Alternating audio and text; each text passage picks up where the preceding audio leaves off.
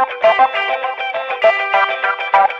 guys, it's Mike from the Off Grid Shop here, and today we're going to quickly run through all the things you're going to require when it comes to installing a Victron off grid system.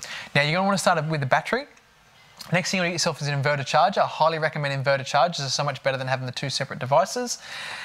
You're going to want a solar regulator, an MPPT. This is like an automatic gearbox for your solar panels. Now, pretty much if you get yourself a battery inverter charger and the MPPT, everything else is optional. I'd highly recommend though, as a minimum, get a Cerbo device, which is the monitoring platform, so this actually sees everything that's going on here. If it's in the budget, get one of these color screens. They're touch, they're amazing. You can reprogram, do lots of things with this here.